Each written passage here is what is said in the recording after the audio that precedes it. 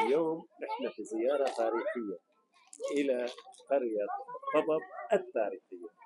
وشيخنا وأستاذنا العزيز الغالي الأستاذ سعيد أبو نقطة المتحمي والنعم الله يحفظك حياك أستاذنا أنا أول شيء استوقفتني كلمة طبب وهذه الكلمة يعني أكيد لها مدلول سواء صحيح. في التاريخ أو طبعا طب طال عمرك هي أول عاصمة لمنطقة عسير في التاريخ.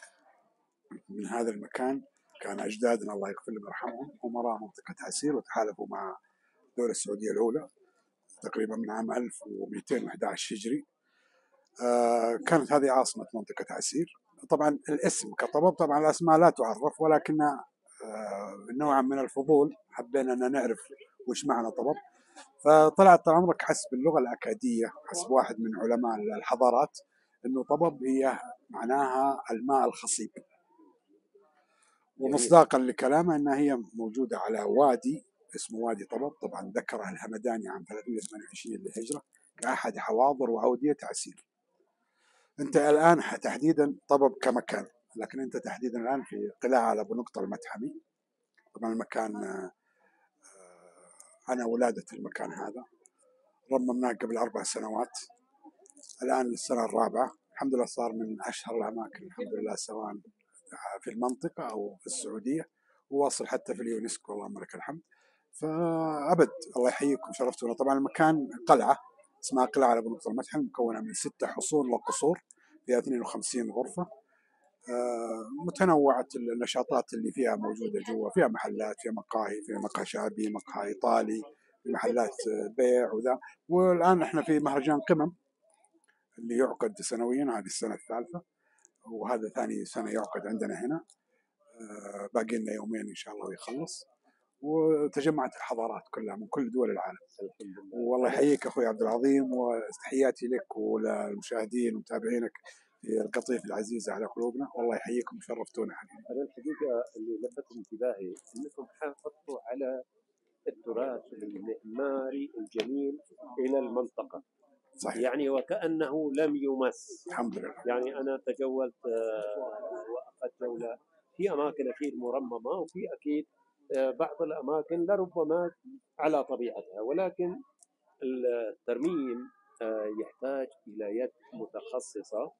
ويد عارفة في تفاصيل ال- المكان صحيح. وبيئة المكان و- وثقافة المكان.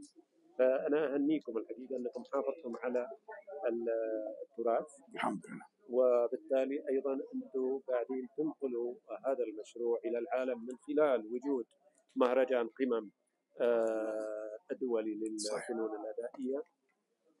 كيف شفت يعني الناس خليني أقول الفرق ال- اللي من خارج الوطن العربي بنظرتهم لتراثنا. والله شوف طال عمرك إحنا أنا دائما أقول تراثنا لم يكتب بعد ومدفون والحقيقة إذا جيت طالع في تراث الجزيرة العربية بشكل عام والمملكة العربية السعودية أنت تتكلم عن آلاف آلاف السنين. سواء في مباني أو في مدرجات زراعية أو في جغرافية المملكة العربية السعودية كلها. فطبعا الناس لما تيجي تشوف التراث هذا وتعرف إنه مبني ما هو مبني عشوائي مبني بطرق هندسية وكأنهم دارسين وكأنهم متعلمين اللي يسووه. طبعا هم اللي عندهم ثقافة يقارن ويوصل لقناعة إنه زي ما في ثقافة متنوعة في العالم موجود عندنا نفس الثقافات. وطبعا جغرافيا القمم الجبلية كل الفرق اللي تجي اللي اعرف أنا إنه جايين من نفس البيئات قمم جبلية. تجد إنه في حتى في تشابه في الفنون. يعني أوقات الحصاد في لها قصائد معينة يغنونها بطريقه معينة. أوقات الحروب أو الأمن. أوقات النشاط السمر والأشياء هذه. في كل الثقافات سبحان الله تجتمع. وإحنا نشكر صراحة وزارة الثقافة وهيئة المسرح والفنون الادائيه على رأسهم الأستاذ سلطان البازلي اللي صراحة المهرجان هذا ما صار إنه بس المواطن السعودي ينتظره، صار ينتظره الكل سواء في السعودية أو في على مستوى وإن شاء الله إنه يوصل للعالمية بالحضور. ولا هو كفكرة هي أول فكرة رائدة في العالم كله ترى هذه الفكرة اللي آه، ما قصرت فيها هيئه المسرح وال- آه، والفنون الادائيه. الله يوفقهم ويجزاهم خير إن شاء الله. شكرا جزيلا آه، يعطيك العافية. الله يعافيك. وأنا سأتجول قليلا. ردوهات هذا المكان الجميل الحقيقة اللي يعج بتراث تراث جميل وأنيق وكل زاوية فيه هي عبارة عن لوحة فنية. الله الله الله الله. هذا الهند. لباس الهند صح؟ إنديا.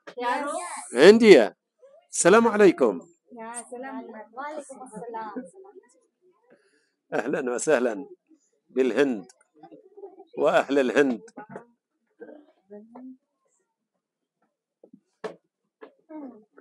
حياكم الله.